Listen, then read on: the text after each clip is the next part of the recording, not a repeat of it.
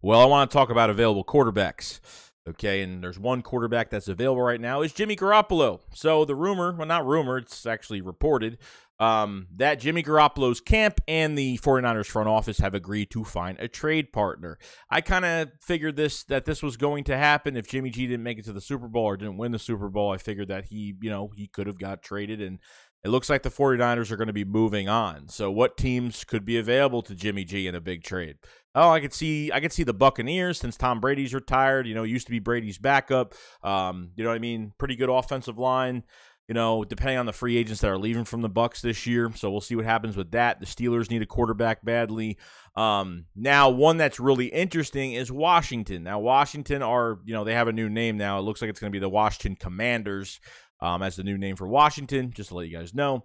Um, Washington is going after a quarterback. It has been reported from Albert Breer from NFL uh, that they are going after a quarterback pretty hard this offseason. Um, Taylor Heinicke is not the answer. So, um, you know, we'll see what happens with that. But I mean, they're they're not going to draft one. I think they're going to go after a veteran quarterback um, you know, because they think they have the roster. They have good pieces on offense. You know what I mean? They're going to add more good pieces this year. So they could be a quarterback away. Could Jimmy G take, you know, finish the job? I don't know uh, to do anything crazy uh, to take them anywhere. But I mean, we'll see. That 49ers defense has been, you know, a, a strong suit um, of that team um, with a lot of good pieces on it. So.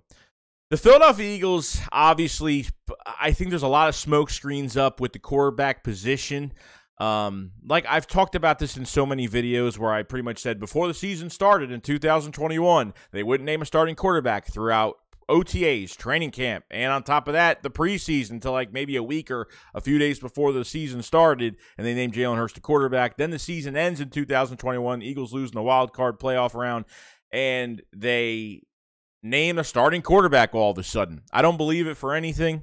Obviously, I don't believe any of it. I think it's all smoke. Why would Howie talk? Why would Howie already uh, want other teams to assume that we already have a starting quarterback? Obviously, that could be a smokescreen. So I don't think, uh, I, I don't believe any of it until we get through free agency and this draft. I really don't at this point to see reports coming out. So if there's QBs available, I think Howie Roseman will monitor these situations. Now, a trade with Jimmy G, obviously, it's not going to be as much as you would trade for Aaron Rodgers and Russell Wilson and maybe Deshaun Watson. I don't know. But, I mean, they're going to want something in return, hopefully, give up some assets if that's the case. But do I really want Jimmy G in a Philadelphia Eagles uniform? not really. Um, Jimmy G, I mean, I mean, when he gets pressured in games and when the line, when uh, everything's on him, when the spotlight's on him, I, I just don't know. He made some really dumb decisions in these playoff games that the past two playoff games that he played.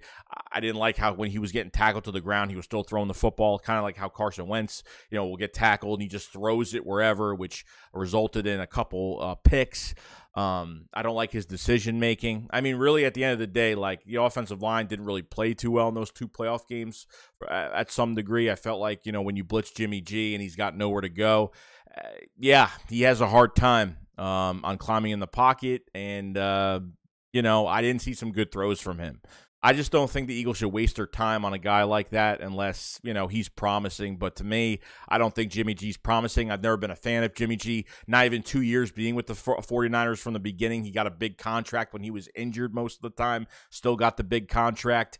So you know, there was a lot of things that he didn't really deserve, but at the same time, there was a really good team around him and Deebo Samuel, Brandon Aiyuk. I mean, Elijah Mitchell. He's got really good players around him, and obviously that defense has been really good, uh, you know, this year. So there's a lot helping Jimmy G in the process. But for him to be in a Philadelphia Eagles jersey, nah, I will pass on this as hard as possible. Okay, um, I just don't. Th- I think there's obviously quarterbacks that are better, veteran wise, but don't just give away draft picks and settle for Jimmy G just because you just have to. You don't have to do anything. Like I said, keep building this roster in 2022.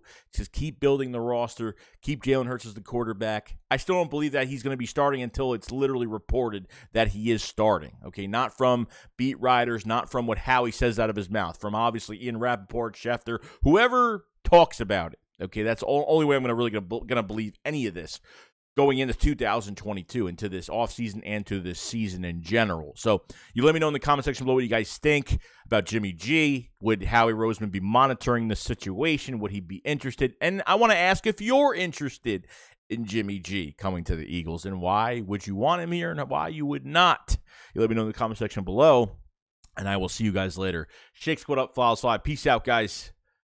Peace.